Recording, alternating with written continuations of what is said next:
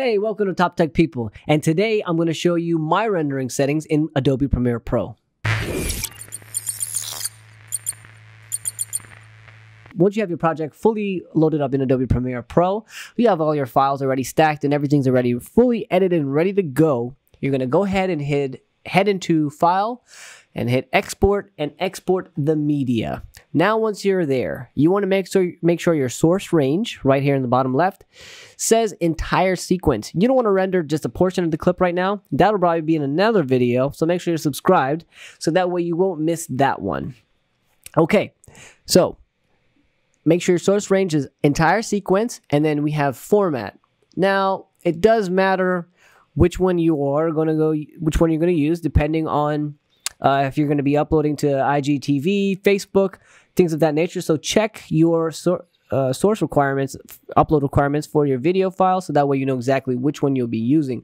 But for me, I do 265 HEVC because that is the latest codec that is uh, that is currently out, and that and uh, provides the smallest file size for the highest resolution and highest quality video file with audio attached. So I choose HEVC 265 and I wanted to be in 4K. You can choose 8K if you have 8K footage, but just keep in mind um, if you're doing you know 4K footage and stretching to 8K, you know you may have some distortion, no, some pixelation. So I do. I'm shooting in 4K 30 frames. I'm gonna render it in 4K 30 frames. So make sure 4, 4K is selected and I, out my output name.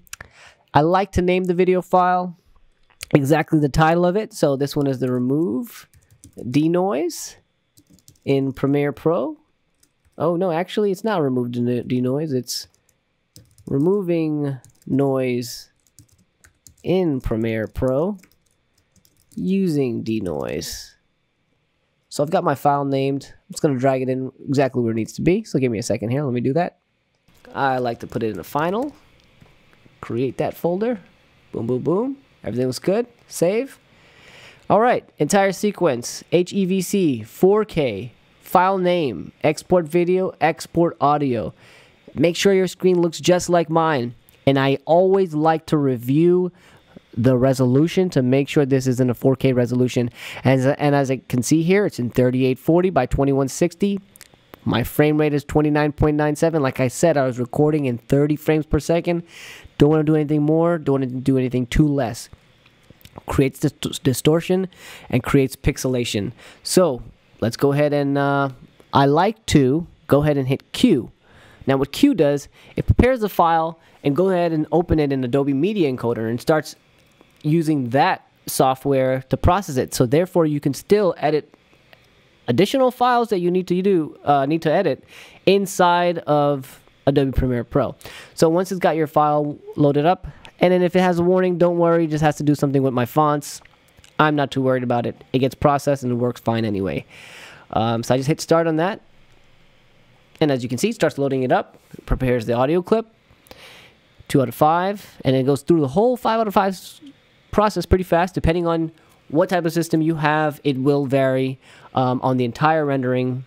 Um, and there you have it. It starts to render. It will give you a time. It does speed up over time depending on what type of application you have open. So maybe not using Premiere Pro would help you render it a lot faster. Um, but you do have the capability of using both. So with that being said, uh, thank you so much for watching this video. So don't forget to, you know, obliterate the like button, like I always say, and uh, subscribe if you're not already subscribed so you don't miss any future content or any videos that we will uh, be releasing on this channel. So, thank you very much.